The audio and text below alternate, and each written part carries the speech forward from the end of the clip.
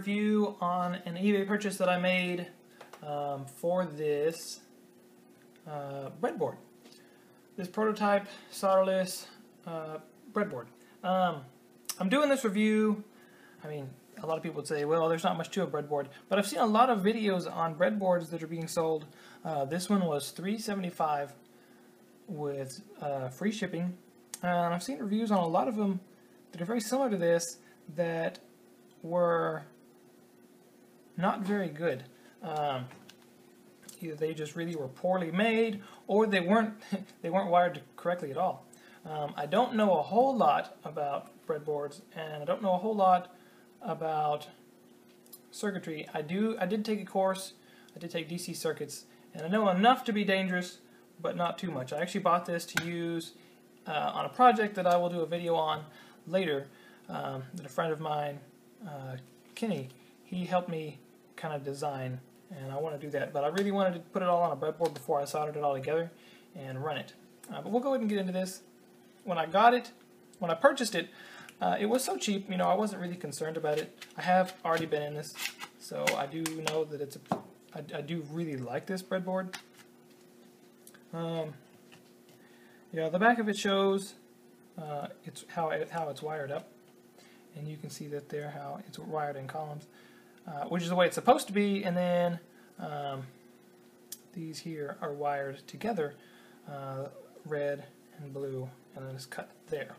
Um, and the one that I saw on the internet, uh, or a review of it, uh, they were wired in blocks.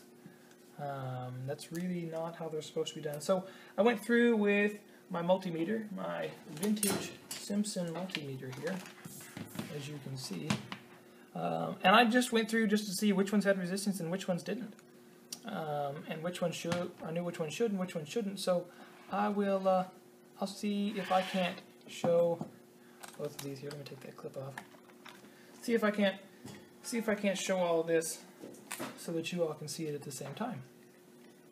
So for those of you who don't know how breadboards work, um, they should be set up uh, in columns. So this entire row right here should all be connected, but it should not be connected with the one beside it. And then the red here along the side all the way to this break should be connected, and the blue should be connected to the break. And the same on the other side. So I'm going to take, uh, just so you know that this is working, I'm going to go ahead and touch them together so you see that there is there is resistance. Um, so we're going to start. We'll start with this uh, with this negative one here. So I'll just plug the uh, plug my common into that, and I'll take. Uh, not really concerned about the wires here, what colors they are. Um, and I'm going to plug this red one in here um, into the red side. And as you can see, when I touch it in there, uh, it doesn't move. But if I touch it in the blue, it connects. So that's good. And there shouldn't be any connection on any of these. I'll just spot check a few of them. As you can tell, none of them are connected. So I'm assuming that the red is the same, and I won't test all of these. I'll just do a few of them. And it really holds these in really well.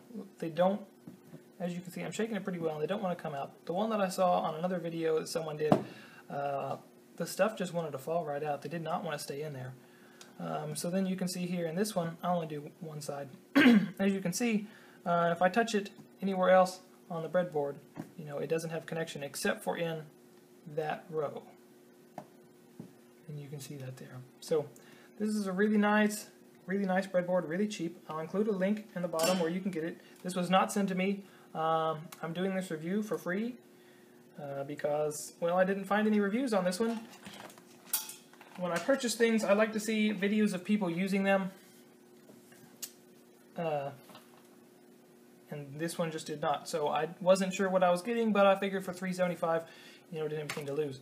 It, I also purchased separately for an additional 99 cents and 150 shipping these breadboard connectors. They were almost nothing, uh, so I decided to go ahead and buy them. I was just going to use some phone cable, uh, uh, cut up some phone cable that I already had, and I was going to use that, and it was going to be free. But I decided, you know, to go ahead with this. I took this apart, and I kind of regret that. I need to find some way to kind of organize all of these. I know in the end there's not really a good way to organize this. Uh, it says that there are 65 pieces in here. Uh, I'm going to take their word for it. I have not counted. I'm going to assume that there are this many in here. But they, they stick in the breadboard really well. And it comes with a bunch of different colors um, and different sizes too. You got these really short ones, really long ones, and then there's some that are medium. If I can find one of those here. I probably can't. Okay, there we go. Yeah, there are the three sizes. You have you have these really long ones here. You can see how long that was. Uh, then these somewhat shorter ones, and then these very short ones. And they have them in all different colors. They're all bundled together. And I really like them quite a bit. But uh, yeah, so that's the uh, that's the review on this on this uh, solderless breadboard. Really nice. I recommend it if you're really looking for a cheap, uh, useful breadboard.